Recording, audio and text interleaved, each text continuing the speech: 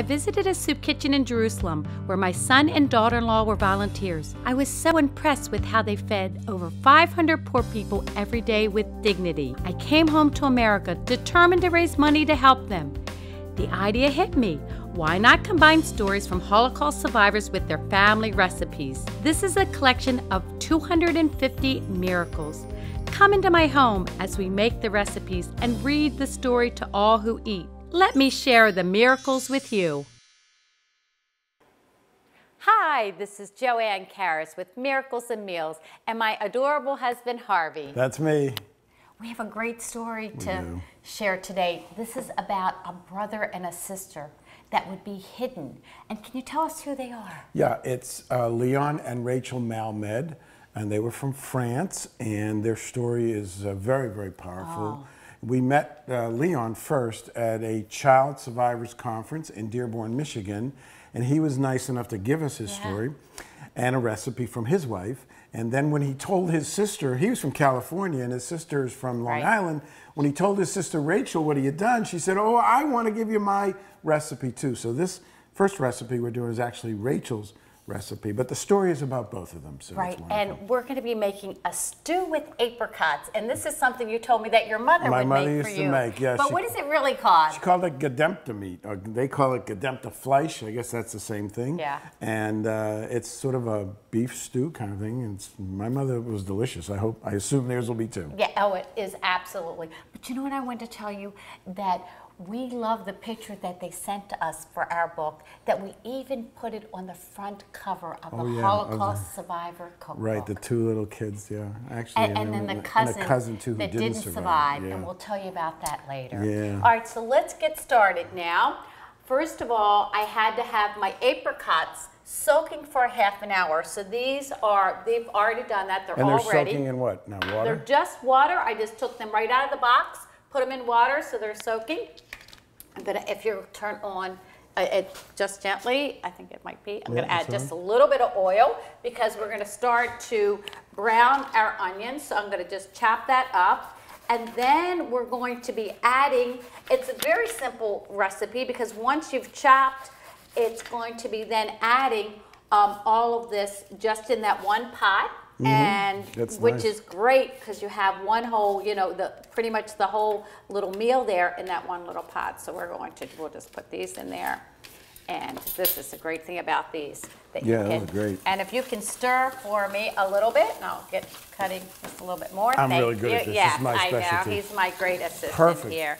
Uh, he's my great assistant here.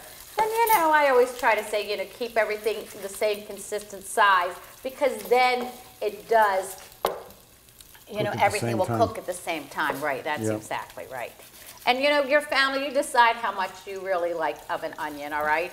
But the it does call for um, one One on- onion yeah, and one two onion pounds of beef. and two pounds of beef. Now they call this a beef shoulder, but sometimes at the kosher market, it's going to be it's they're going to call it stew meat. Yeah. And it's already cut up, which is great because they already do it in the right size for you. So we're going to let you finish with, this right here. Okay. Mm-hmm. All again the same consistent size, and everything's going to go right in here. If you give that.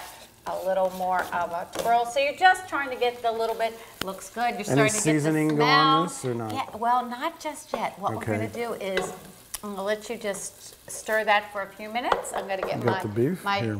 yeah, my chopped beef here, and Beef? can get the, that in? right in here, exactly. Ooh, yeah. right, and we're gonna just brown this up.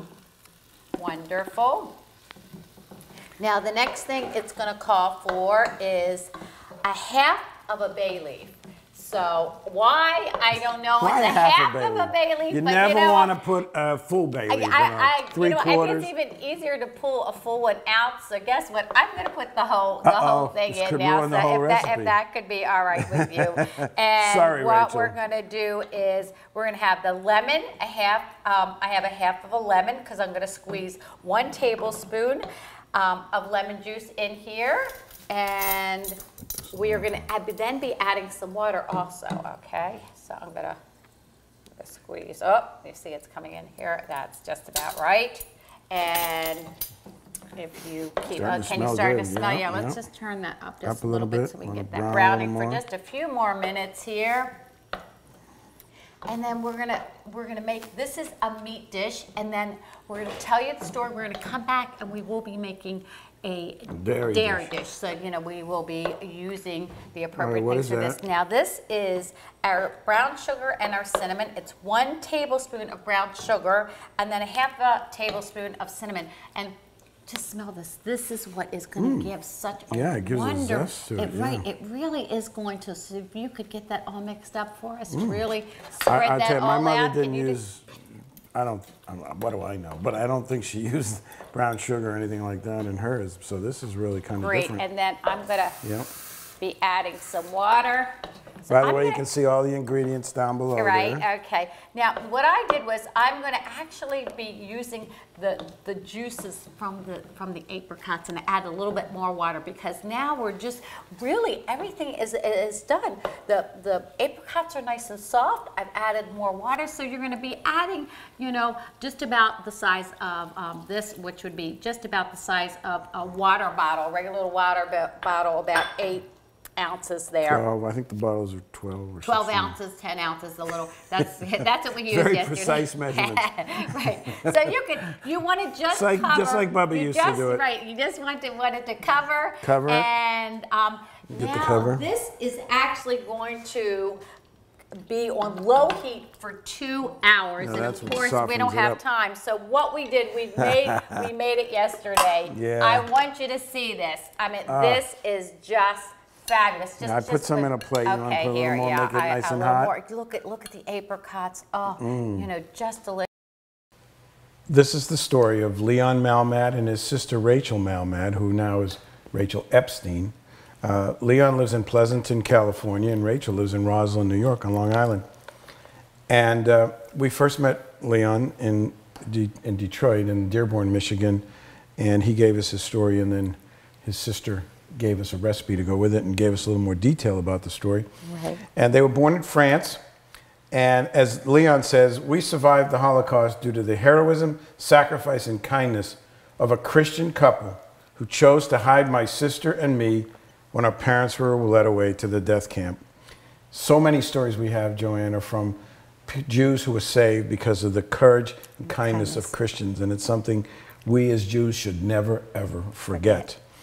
Uh, he said the heroes of the story are Suzanne and Henry Ribouleau and their two sons, Rene and Marcel. They were our neighbors. They were the neighbors living downstairs in an apartment building, one floor below. And he tells the story. He said, My parents had emigrated from Poland to France, but Leon and Rachel were born in France. They made a good life for themselves in a city called Compiègne, France, which is about 40 miles north of Paris. They owned a clothing shop, they lived in a nice apartment. Sister was born in 32, and he was born in 1937, so they're five years apart. He said in 1940, when I was 33, three years old, everything changed. France was now occupied by the German army. Right. Jews had to wear the yellow armbands. They were no longer allowed to own a business of any kind, so they had no income. Jews couldn't go to public parks. Uh, they couldn't. They couldn't own a radio. I mean, it was just unbelievable how things changed when the Nazis came in. And he said it kept on getting worse and worse, but the worst was yet to come. On that faithful, horrible Sunday morning, July 19th, 1942. He said at 5 a.m., two French policemen knocked at the door and asked my parents to accompany them. They didn't give any reason. They just said, "Come with me." What about our children? The parents said. And it was deaf ears, as Leon said. They, they didn't care. The policeman said they'd been ordered by the Gestapo to arrest the parents, and that's what they did. Well, the neighbors below, the Ribouleaus, Right. woke up and asked Heard what's all the going on. They heard all going the on, commotion, said, right. what can we, what's going on? And Leon and Rachel's father explained that they were being taken to police headquarters. They really didn't know why or for how long they'd be gone. Mm-hmm. But they asked the Ribouleaus if they would watch their children. Thinking my parents would return in a few hours, Monsieur Ribouleau, a kind man, as, as Leon said, who always had a warm hello whenever we saw him, he said to my parents, Monsieur and Madame Malmed, do not worry. Mm-hmm. We will take care of your children until you return. He said, Leon said, I have an image of my sister and I crying and clinging to my parents, begging not to take them away, begging the police not to take them away. But, but the, the Ribouleaus kept reassuring the kids, don't worry, and they reassuring the parents, don't worry, your kids, your children are in good hands with us. And as Leon says, little did we know that that would be the last time we would mm. ever see our parents alive. And then what happened? And so that was the start of Jewish children hidden by a Christian family. Their lives would be in danger for three years because people would get awarded money if they would turn in Jews of any age. Yeah. It didn't make any difference. And not only would the Jews then be punished, taken away, but the family Families. that was hiding them. And so their neighbors said to them, Why? Why would you risk your life, your son's life, for these little children, these little Jews, when they won't even remember you?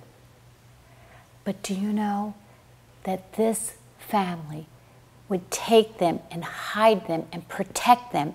And even one day, somebody must have snitched because they came to the house and they got them out of the house and they had them go run and hide. And they were never found or caught for the three years. But mm. on that same day, when they were able to get them out of the house and hidden, the little cousin who was just five, Charles, he would be captured just like as if they were out collecting stray dogs off of the street. And when they asked, please don't take this little child, he's only just five years old. Why would you take him? He's only a little boy.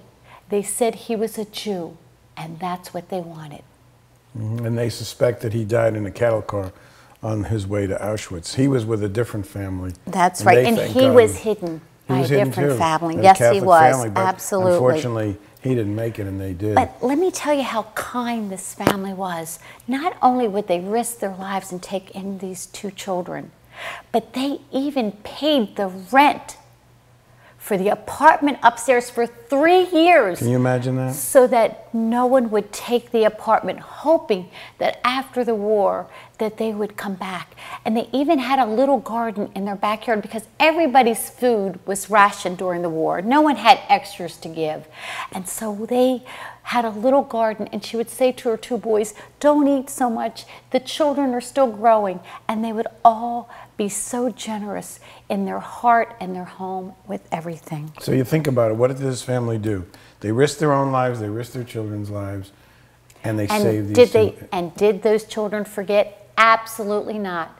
Rachel and her brother Leon not only remembered them their entire life, but they would go back and honor her in such a beautiful way and, and they nominated her as a righteous Gentile. That's right. And it's been in Yad Vashem, uh, the Ribouleaus are honored there. And they um, also have a street named after them and the building, the apartment building, is now a historical building. We're so excited to be able to um, share that that late that late bit of information with mm. everyone that yeah. just came about. So let's go back into the kitchen now and finish up. We're actually going to be finishing mm. with the um, potatoes, potato like a potato, potato gratin, but yeah. it, you know it's a French potato gratin, and um, and we're so grateful again to Leon and Rachel for sharing their story with us. It's just a courageous story on the part of the Ribouleau family. You know, we didn't say though. I just wanted to share with with everyone after the war, those young children really believed that their parents would come back. Yeah. Yeah, Leon once said that he would look out every day and look at the boots of the soldiers that were that were passing by and it was always the German army. And then one day he saw different boots that was the American army and he thought they were bringing his mother and father back to him, but sadly they weren't. If you would like more information about this story or any of the stories from our two books, please go to www.survivorcookbook.org. All profit from every book sold goes to the Carmei Ha'ir Soup Kitchen that feeds over 500 poor and hungry Israelis every single day. And now for a kosher minute with Rabbi Michal. Hi, I'm Chef Rabbi Michal with the Kosher Minute for hints, tips, tricks, and more all about a kosher kitchen. Today we're going to talk about salting meat. Now, salting meat is a process which is required after you have ritually slaughtered meat, according to kosher law. Then you have to take uh, coarse kosher salt and cover the piece of meat with it to draw out the excess blood because blood, as we've learned before, is not a kosher food. So you just get this salt and you cover it with the meat, and usually you should hang the meat to, to drip, have the drippings come out, or have it in a colander to have the drippings go out there. And then you've got your kosher meat left. So for thousands of years, this was done in every single kosher kitchen. But luckily now, our butchers do it for us. So when you buy a piece of kosher meat from the store, it's already been salted. The Kosher Minute is brought to you by Yaldah Magazine, the magazine for Jewish girls by Jewish girls. For more information, please visit our website at www.yaldah.com. That was such a powerful It- story. It is. It's one of my favorites. Do you remember when I met Rachel? Yeah. And yeah. it was in it was on Long Island, on Long Island. and they had young students from Israel that came over to the United States, and they had her story, and they were sharing it with both the American children and the Israeli students, and they showed this video. Yeah, it's so powerful. Both Rachel and Leon going back to France, honoring this foster mother. Do you know? I'd like to be able to show everybody that video right now. Yeah, just a little clip from it. It's so powerful. Let's look at it. to the last day of the war, it was our view of the world, whereby not only we saw the German boots, but we saw through those, those windows, we saw the, the American coming through.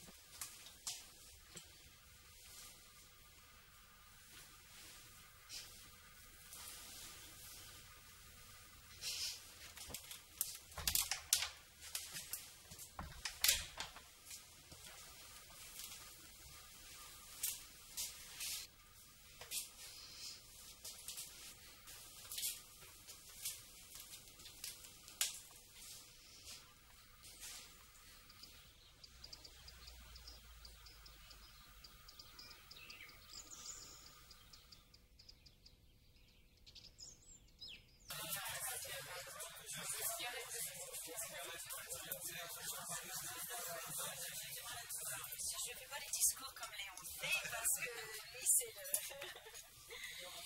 Et premièrement, j'ai aucun mot à décrire comment je me ressens en- vers toi. Euh, Ici et moi, mon mari, on est tellement contents de pouvoir être là et de célébrer cette journée absolument magnifique. Je veux te remercier aussi pour ma vie. Je veux te remercier pour la vie de mes enfants et pour la vie de mes petits-enfants. Parce que si ce n'était pas à cause de toi et mon mari, on ne serait pas là. Alors je veux te remercier et pour moi, tu es, on, t'adore et tu es tout pour nous. Et euh, je te souhaite un très très heureux anniversaire. Et quand je, dis ça, j'ai aussi dit ça pour Léon, pour sa vie. Et je suis sûre qu'il est d'accord avec moi et sa vie de ses enfants et, et sa fille là avec nous aujourd'hui pour célébrer. And now we're going to make Leon's recipe. Okay, good. Looks good. It is. Can you tell us what this is called, please? It's called gratin dauphinois. I took French in high school, so That's I'm right. that. So that's why I had Yeah. you. And I looked it it up. with us. Dauphinois means it's from the Dauphine section of France, which is, of course, where Leon and uh, Rachel were from. So it's appropriate. We're making a French, French A- dish here. and- Absolutely. And so what, what do it we got is, here? it is a potato casserole that's going to be layered just like we would kind of do like a lasagna. Yeah. So you, if you can just most people would call it potatoes au gratin, right? That's, I mean, that's exactly what gratin, right. gratin Absolutely. means. So this is butter? Now, this is a dairy Absolutely. recipe, so you have to make sure that you have all the appropriate things here. So we have actually uh, we have butter. Butter. We have our potatoes all peeled. Now I use the um, the yellow potato. You could use what your family would like, and all I'm going to do is just layer these here, and this is what I'm gonna need your help. We're gonna add a mm-hmm. little bit of salt and pepper, please, All right, I can do Okay. that. Salt. and pepper. And then I hope if I you're don't gonna sneeze. and I'm then- allergic to pepper. Okay, now you're gonna add your cheese. Cheese, Okay. little cheese on the top. Yep, Mm. cheese. There you go. Tell All right. when. Okay, that's good because I'm coming back. Whoops. All right, with another layer of my potatoes. Hold on, hold on. I didn't get mine in. He's, now he's had two. We, big- All right, go we- ahead. we look like Lucy and Ethel here. All right, now your cheese. Here, go, keep going. Your, Cheese. Okay, quick, quick. Wait, wait, Is the conveyor belt moving by? All right, all right. So now this will be my last layer, and I'm going to be adding my potatoes. The oven is on at 400. 400. Okay, this is going to take an hour and a half. Hey, you're salty. It's a little, yeah. So, okay, now if you can put this on. You're already okay, salty enough, great. I don't need to add any more to you. Great. Now you're going to add that. And what we're going to need to do to finish this up here, let's be generous with that Yeah, let's cheese. not be Come on, we stingy. love all that. All right, so we put it in here. the oven? Now make sure this was a Swiss cheese. Oh, yeah. You really need to go to the kosher market. You know, we find lots of products, you know, at our local grocery store if you um, don't have one that's right there near you. But I really do believe this, um, you should go to a kosher market to make sure you get this. I'm just going to whisk up my one little egg here, add it to my one cup of milk, and whisk both of these.